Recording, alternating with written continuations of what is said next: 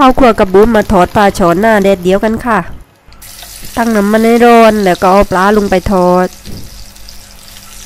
ไฟจะใช้ไฟปานกลางนะคะ ไม่แรงเกินไปแล้วก็ไม่เบาเกินไปนะคะ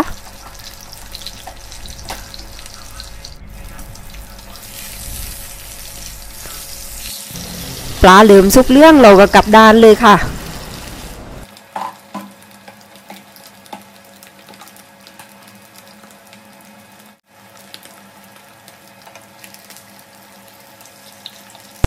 ปลาเลือมสุกทั้งสองดาน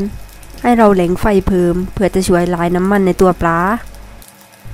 จะช่วยให้ปลากรอบน้องนุ่มในไม่อมน้ำมันนะคะ